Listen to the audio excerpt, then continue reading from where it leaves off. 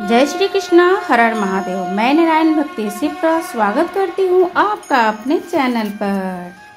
हरि का मिलन हुआ है, इसलिए इसको हरिहर श्रावण कहते हैं। ये दो महीने के श्रावण में, अगर मान लो एक दिन आपका निकल भी गया, दो दिन आपके छूट भी गए, कोई दिक्कत की बात नहीं। तुम्हारे यहाँ लगा हो जो पौधा तुम्हारे यहाँ लगा हो जो वृक्ष तुम्हारे यहाँ लगा हो जो क्यारा तुम्हारे यहाँ कुंडी तुम्हारे यहाँ उसी की मिट्टी को, उसी के पेड़ के नीचे, उसी पौधे के नीचे, उस मिट्टी को थोड़ा सा हाथ से उसको उठाकर एक लिंग की आकृति बना ले।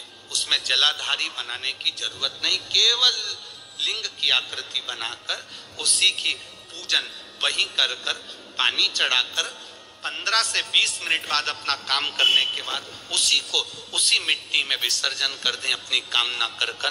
देव अधिदेव महादेव, दो महीने के बाद क्या देगा, ये वही जान सकता ओम नमः शिवाय।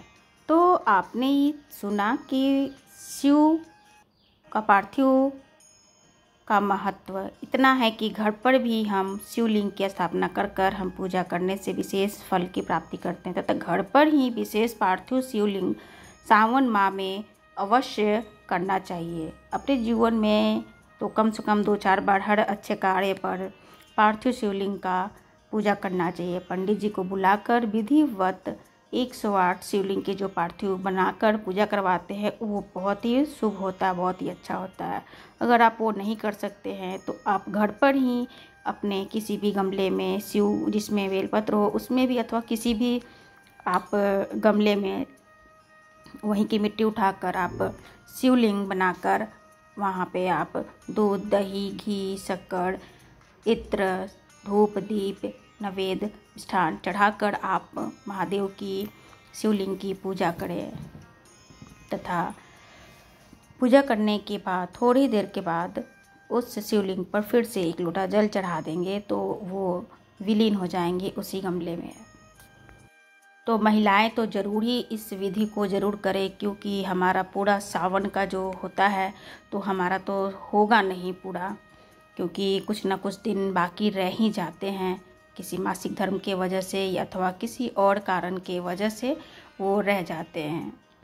तो इस तरीके से आप शिवलिंग की पूजा आप ज़रूर करें। एक बार करेंगे तो इसमें बता रहे हैं महाराज जी की ये करने से हमारे पूरे दो महीने के पूजा करने का फल प्राप्त होता है। यानी पार्थिव का पूजा एक बार भी कर ले तो पूरे वर्ष भर शिवलिंग पर जल चढ़ाने का फल प्राप्त होता है।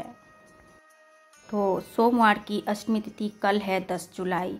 तो दस जुलाई के दिन जो महिलाएँ मंदिर नहीं जा सकती अथवा भीड़ भाड़ के कारण सारी वस्तुएँ एक एक कर कर नहीं चढ़ा सकती, वो मंदिर जाकर आने के बाद भी घर पर अपने इस तरीके से शिव जी का पूजा विधिवत अपना कर लेंगी। जो भी सामान छूट जाते हैं मंदिर में भीड़ के कारण, हमारा सारा वस्तु उस पार्थिव शिवलिंग पर चढ़ जाते हैं और हमारी पूजा बहुत ही संतोषजनक संपूर्ण हो जाती है। यानी संतोषी के साथ हम पूजा पूर्ण करते हैं तो अच्छा फील भी होता है और अच्छा उसका रिज़ल्ट भी होता है।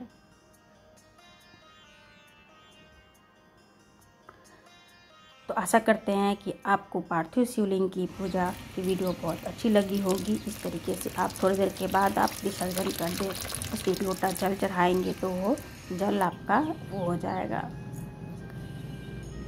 अब है कि हमें फूल नहाकर नहीं तोड़ना चाहिए, बहुत ही विशेष भारी पाप लगता है। किसी भी फूल को तोड़ने के लिए हमें बिना नहाए ही फूल तोड़ना चाहिए। तथा उस फूल को तोड़कर साफ़ जगह पर रखना भी चाहिए। महाराज जी बता रहे हैं कि हमें कि शंकर भगवान को या देवताओं को जो पुष्प चढ़ता है, उस फूल को अगर कोई पेड़ पे से, डाली पे से तोड़ा जाता है तो नहाकर नहीं तोड़ते। भगवान को चढ़ने वाले पुष्प को बिना नहाए तोड़ा जाता है। और पुष्प का एक नियम है, पुष्प धोया भी नहीं जाता। वायु पुराण वर्णन कर रही है। भगवान को चढ़ने वाला पुष्प जब हम डाली पे से उतार कर लेकर आते हैं और लाकर हम भगवान के पास में कहीं स्थान पर रख देते हैं और स्नान करने के बाद जब हम शंकर भगवान को याद कोई भी राम पुष्प जब समर्पित करते हैं तो उससे ना जाने कितने कितने दोष हमारे जीवन के समाप्त हो जाते हैं, ये वायु पुराण वर्णन